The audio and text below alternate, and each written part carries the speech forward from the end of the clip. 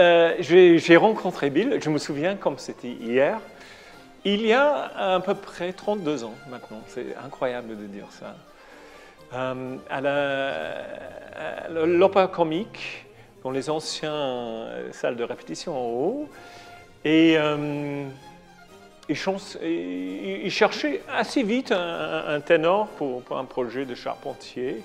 J'ai chanté et je me souviens, il a tourné vers, vers son assistant à l'époque, il a dit Ce garçon est intéressant. Et je n'ai pas pensé à l'époque que ça sera le début de quelque chose aussi extraordinaire que, que cette relation avec, avec William et, les Arfoissants. Euh, parce que c'est en fait c'est un moment qui a transformé ma vie. Il y a plein de leçons que j'ai appris euh, de Bill par rapport à la musique. Une, c'est un respect, mais pas trop. Ça veut dire que nous avons aussi une responsabilité pour la musique.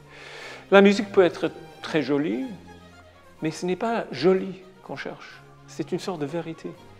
Donc il faut se mettre dans la position des, compositeurs et, et, des chanteurs et des musiciens de l'époque et réinvente toute cette passion dans la musique, toute cette passion dans le texte, tout euh, cet effort de convaincre le public de la beauté, de le sérieux, de, l'humour, de, tout ce qui est dans, cette musique. Et c'est un voyage qui n'est pas tout simplement une reproduction de quelque chose qui est sur un page. Non, absolument pas. C'est de revivre ce moment de création. Et ça, c'est quelque chose qu'on essaie de faire à chaque fois quand, on, se, trouve ensemble avec les Arfoissons.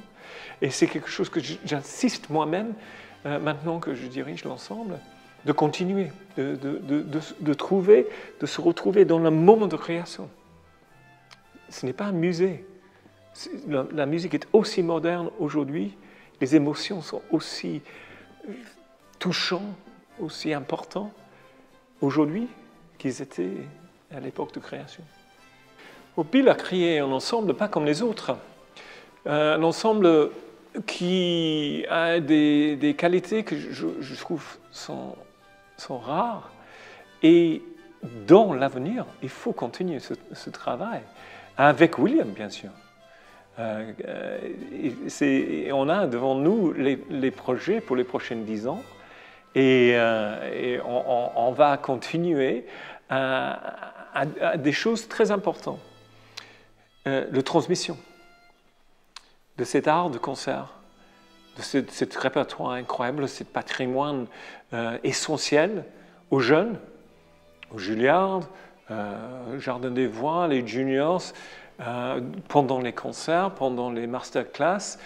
Donc une, transmission qui veut dire que cette musique va vivre après nous, et qu'elle va vivre, j'espère, dans, un style, dans un, dans, un esprit que les Arts sont a fondé.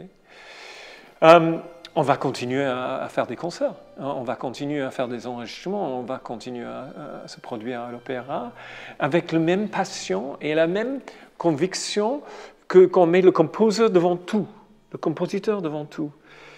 Ça veut dire que le compositeur a eu dans son, son oreille, quand il a mis son crayon sur le papier, une palette de sons et que c'est notre ambition de rendre cette palette vivante de nouveau.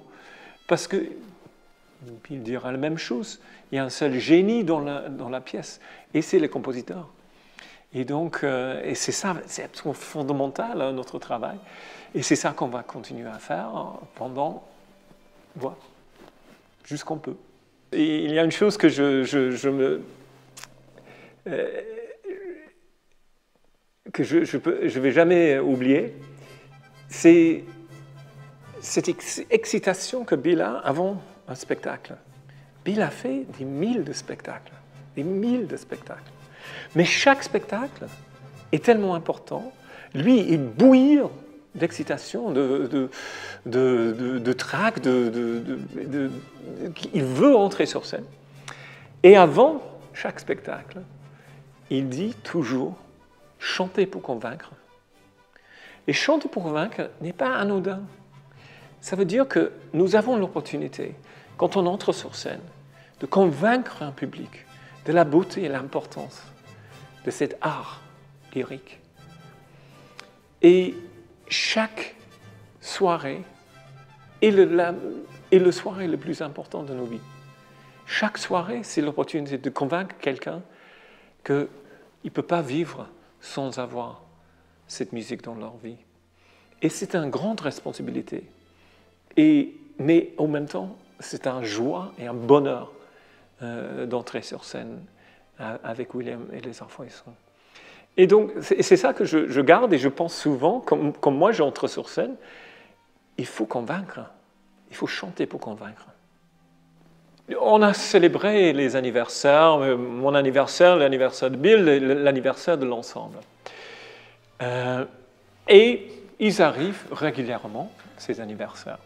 Mais il y a un truc très important, il y a quelque chose de très important par rapport aux anniversaires. On a une tendance à un anniversaire de regarder dans le passé. Mais ce n'est pas du tout, du tout, du tout l'attitude de William. William regarde toujours à l'avenir. Donc chaque anniversaire, comme son anniversaire cette année, c'est en fait euh, un point de départ. C'est un point de départ sur d'autres projets, sur d'autres idées, sur d'autres créations.